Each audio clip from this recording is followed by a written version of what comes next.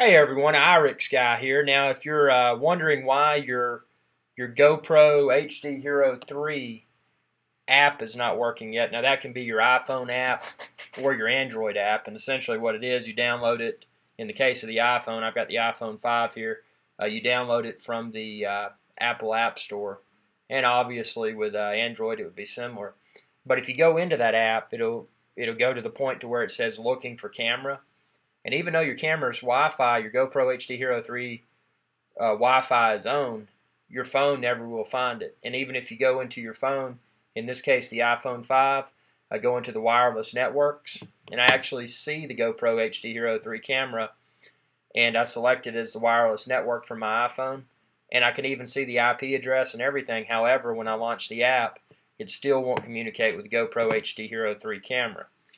Now, I called GoPro about it, and they indicated that the app functionality, uh, whether it be iPhone or Android, the GoPro app functionality will not be uh, functional until December. And in December, they're going to release a GoPro HD Hero 3 camera firmware update. So what you'll need to do when that firmware update comes out in December, and I don't know the exact time, I think they said it's probably about middle month of uh, December, but go to GoPro.com and go to the support where you can uh, where you can update your camera. There's an automatic support where it'll download. It'll check the current firmware version on your GoPro, and then it'll download it.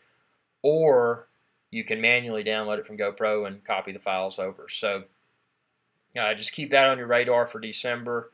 Uh, don't be surprised, and don't get frustrated when you're testing your uh, your mobile app and it's not working yet.